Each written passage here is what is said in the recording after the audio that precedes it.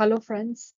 I welcome you to this learning workshop, which is about tolerations, helping you understand what are you putting up with.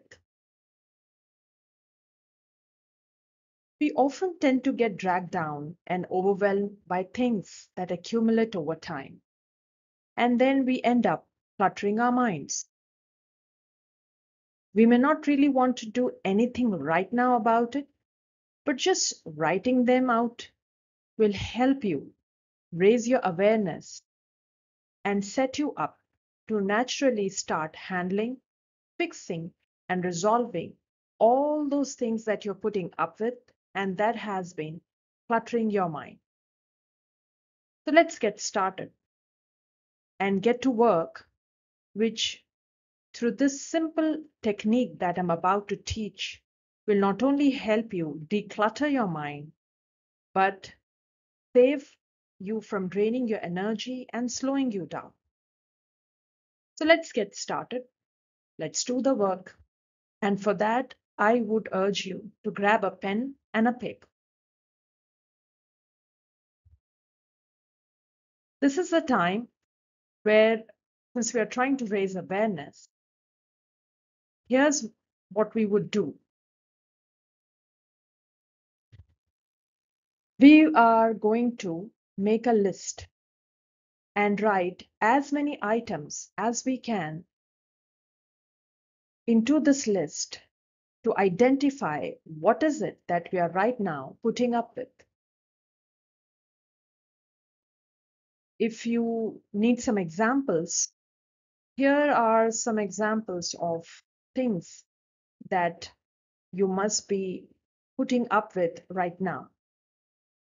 It can range from incomplete tasks, your frustrations, poor processes, procedures, to other people's behavior, the shoulds you have in your mind, the unmet needs, to even exercise, eating or sleep habits, office cleanliness, undone of filing of your office work. So while you're seeing this list, friends, what I really want to bring to your attention is this is about, uh, there's no hard and fast rule here. As we are raising awareness, just get your pen and paper and try to list as much as you could, taking this as an example. Your list can be generic in nature, or your list, to make it more easy, can also be specific specific to a person, specific related to your health, that there are certain things you are tolerating about it right now, you're putting up with, specific to your partner, your relationships that matter to you the most, specific to your job, to your work, or to your boss that is making or maybe is a toxic boss and and your workspace is somewhere you struggle every day and day out. So it's completely your choice whether you just want to have a simple list or you would like to put it this way. Uh, giving it a category or a title, a heading, actually help you group it. And maybe it will also open you up to understand which area of your life there are maximum tolerations that you're putting up with. Because if you remember, our idea is to raise awareness and declutter our mind so that we do not slow us ourselves down by draining our energy on unnecessarily being stuck in the vicious circle of all these that would cover up and has kind of enveloped us into overwhelm, into stress, and into utter chaos. And we just constantly are thinking what do I need to do next to get out of it? So once you know what is it that you're tolerating, what is it that you're putting up with in each of these areas, or maybe you create a general list, that will be your first point to bring to surface. It's like a diagnosis you're doing to help you understand in the present day today all the things you're putting up with. While you're making this list, please also make sure you are taking into account things of recent past. When I say that, by that I mean things you've been putting up with for the past, let's say six months or three months. Do not go too much into the past because that's not where you'll be able to find a way out.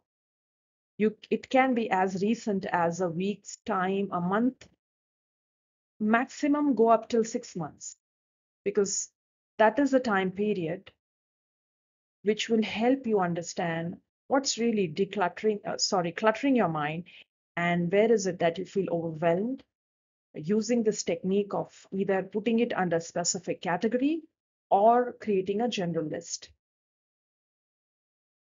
Once you're done with your list, once you have, once you're ready with it, uh, you can do two more additional action items within it. First, not necessarily that you are completely ready the moment now that you're writing and working along with me. You will have new thoughts coming into your head as you recall all the things you've been putting up with. So don't worry, there are no hard and fast rule here. Just simply keep adding into the list. The second thing here is once you have a good number, then to that, beneath each of what you're tolerating, write what action item do you plan to take to reduce your toleration and by when? By when here is the time period. Now, friends, this is basically a little bit of, uh, I'll try to simplify this for you. We are here, it's called cognitive restructuring, where we are trying to rewrite the clutter we already have in our head and we've been putting up with into a systematic format so that our brain, which is a miracle in itself, will throw up answers to you and you will find that when you put all that you've been tolerating and underneath each of it, you put what action will you take to reduce your tolerations and by when, wherein you're putting a date or a day. I suggest put a date, a specific one. And this is where you're subconsciously recrypting the neurons which were earlier stuck up in the vicious circle of stress and because of all that you've been putting up with. So the first thing you're doing is you're creating awareness by creating a list, which can be a general, uh, a long list, or a specific to a person, to an event, to your boss, to your job, whichever way you find it convenient, do so. Once you've done that, underneath each toleration or whatever you're putting up with, give an action item. What is it that you could do? You will be surprised when initially you may not really find an immediate answer to all the action items that you could do, but you'll be surprised not just with what all will surface up when you write all that you've been tolerating for the past six months in various areas of your life, but at the same time, what actions that you could have done to reduce these tolerations and this has never struck you. And now, now that you're doing it, you will automatically find your brain will be throwing up brilliant ideas for you to reduce this. Take my word on that. And then when you say by when, you will also find a way out when you put a specific date to it. So don't uh, feel hesitant if you don't have your answers immediately right now. Just create the list and write one action that you're going to take to reduce it and by when. And see the magic as it unfolds when you practice it.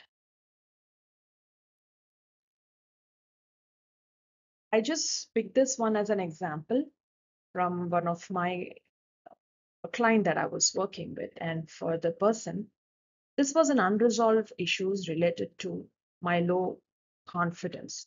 Here is the client my this is not my my and this person had a very i mean a myriad range of issues but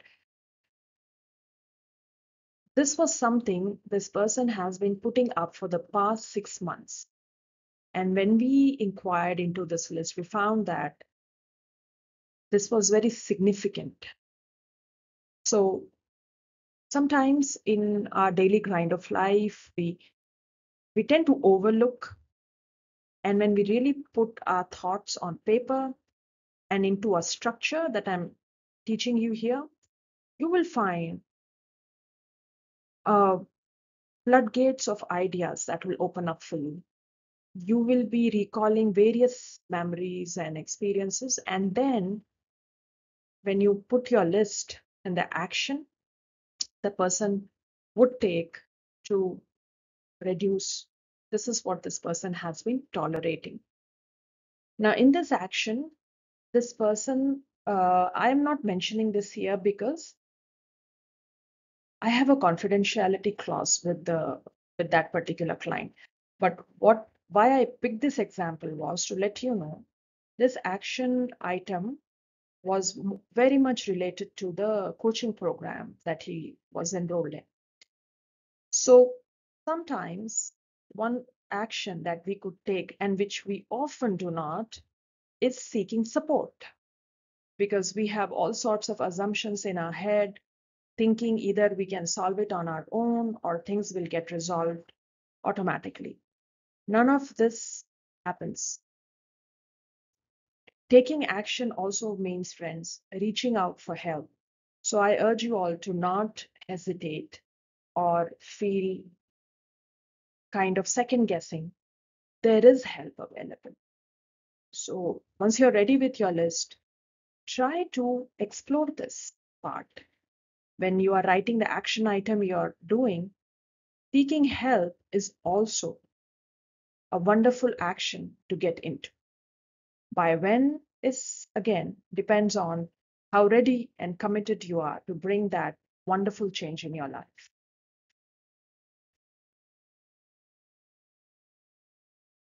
I wish you lot of insights, wisdom as you use this technique and tap into your inner self. And I just can't tell you how how happy I feel when my clients reach out to me after finishing creating their first list. And not just that, it also with the action items, because now not just that they have raised their awareness about what they've been putting up with so many things for such a long period of time.